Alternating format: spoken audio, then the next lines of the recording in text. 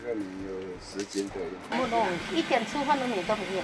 要压就要压两两个小时啊。个小时才会干，大开空头，这个下去才会香，才会好吃，嗯，金黄色才可以。好了，这样子就很香了。三层肉到十，要加一点盐巴下去比较好吃。这花生煮过了。不影响。你们这销量这么大，全是都来批发吗？批批发也有啊，什么都有了，零售也有。红糖跟白糖，红糖就十一斤了，黑的是调色的，这个黑糖比较香。下面也留留点下去看。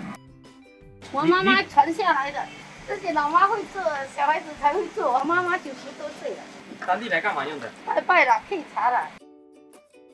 弄成饼一块块放下去的，对，都裹上红糖的颜色了。对，这个真的是古早味。现在的青年人都不会做了，要煮到这个果熟，慢慢炖熟了比较好料。这个肉炖下去有个葱葱油香味。这现在就香了，本钱不够就不好料了。半甜半咸，很好吃的，做了四十年了。哇，十七岁就做到现在了。这个葱要下去了，慢嚼起来了。现在要使用真功夫的，力气很大，做这个果果味的哈。要换一个人啊。对啊，要换了，辛苦了。这属于民间传统小吃。对，先做差不多一百斤。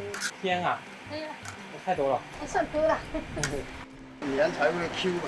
一盘一斤。两斤那这一盘多少钱？三十块，甜的好吃还是热好吃？甜的好吃。喜欢吃的。很暖，你看，弹有弹性。